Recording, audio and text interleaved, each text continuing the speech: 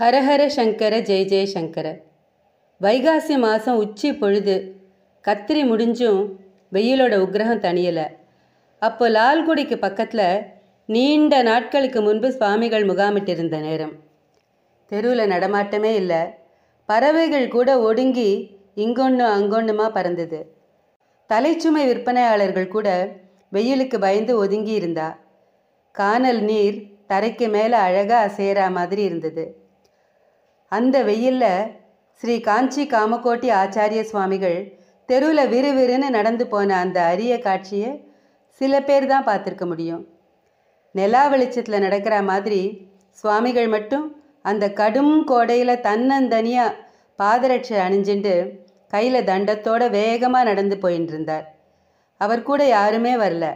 சுவாமிகள் மட்டும் அப்படி போகிறது வழக்கமே கிடையாது. ரொம்ப ரொம்ப அபூர்வம். பின்னாடி பத்து அடி தள்ளி நாதஸ்வரக்காரர் கையில் நாதஸ்வரத்தோட ஓடோடி வந்தார். அவருக்கு பின்னாடி தவில்காரர். சுவாமிகளுக்கு கொடை பிடிக்கிறதுக்காக ஒருத்தர் பட்டுக்கொடையோடு ஓடி வந்தார். மடத்து சிப்பந்திகள் கையில் வெள்ளி பாத்திரங்களோட அறக்க பறக்க ஓடி வந்தா. இவா எல்லாரும் வேகமாக ஓடி வந்து சுவாமிகளுக்கு முன்னாடி போனா. தீ முதிக்கிற மாதிரி பத பதைக்கிற அந்த வெயிலில் சுவாமிகள் வேகமாக நடந்து போனதும் பரிவாரங்கள் ஓடி வந்து கலந்துண்டதுமான அந்த ஒரு நிகழ்ச்சியை யாரோ ஒத்த ரெண்டு பேர் தான் பார்த்துருக்க முடியும். சுவாமிகளை தொடர்ந்து கடைசியாக போனவர்கிட்ட விசாரித்தப்போ அவர் சொன்ன விவரம் இதுதான். ஒரு பக்தர் வீட்டுக்கு பன்னெண்டு மணிக்கு சுவாமிகள் பிக்ஷைக்கு வரதா ஏத்துன்றிருந்தார். மடத்தில் பூஜையெல்லாம் முடியறதுக்கு பதினொன்றரை மணி ஆயிடுத்து. தரிசனத்துக்கு வந்த மக்கள் கூட்டம் கலையிற மாதிரி தெரியல. அவளை சமாளிக்கிறதே பணியாளர்களுக்கு சரியாக இருந்தது.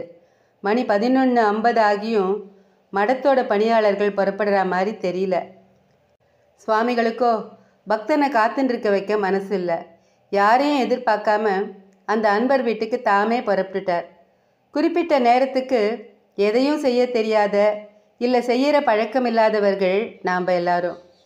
நேரத்தையும் காலத்தையும் கடந்த சுவாமிகளோ குறிப்பிட்ட தருணத்தில் தான் ஏத்துண்ட கடமையை ஆற்றுறதில் தீவிர கவனமுடையவர். அது மட்டும் இல்லை சன்னியாசிகளுக்கு உரிய நேரத்தில் பிக்ஷாவந்தனம் செய்யறது ரொம்ப புண்ணியம். அதே சமயத்தில் காலந்தாழ்த்தி அவளுக்கு பிக்ஷாவந்தனம் செய்விக்கிறது பல மடங்கு பாவம் ஆயிடும் தன்னோட பக்தர் அந்த அபச்சாரத்துக்கு ஆளாக சுவாமிகள் தானே காரணமாக இருந்துடக்கூடாதுன்னு கருணையோடு கருதி இருக்கலாம் இல்லையா? இந்த கருணையை நாம் கற்றுக்கணும் நாம் நமக்காக சிந்திக்கிறோம் செயல்படுறோம். அந்த மாதிரி மற்றவர்களுக்காக நாம் என்றைக்கு அழக் கற்றுக்கொள்கிறோமோ மற்றவர்களுக்காக என்றைக்கு நாம் தொழ கற்றுக்கொள்கிறோமோ அன்றைக்கு நாம் வாழ்க்கையில் உயரத் தொடங்கிவிடுவோம். ஸ்ரீ மகாபெரிவா திருவடிகளே சரணம். ஹரஹர சங்கர ஜெய ஜெய சங்கர. காஞ்சி சங்கர காமகோட்டி சங்கர.